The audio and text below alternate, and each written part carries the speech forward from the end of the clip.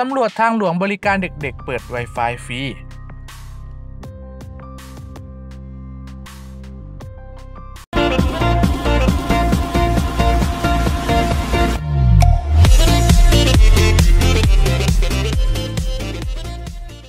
ครับเมื่อวันที่ 20 พฤษภาคมที่ผ่านมา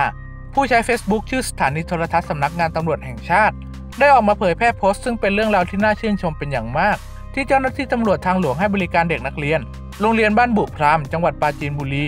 ในเรื่องการเปิด Wi-Fi ให้นักเรียนใช้แบบฟรีๆ เพื่อให้นักเรียนได้ใช้เรียนออนไลน์ และจะได้เรียนทันเด็กๆรายอื่น โดยผู้ใช้ Facebook ดังกล่าวได้ระบุข้อความเอาไว้ว่า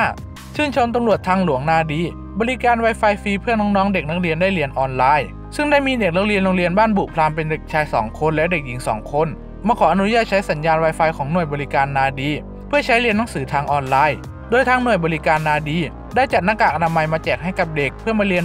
ที่มาเรียนเพื่อความปลอดภัยจากการระบาดของโรคโควิด -19 ด้วย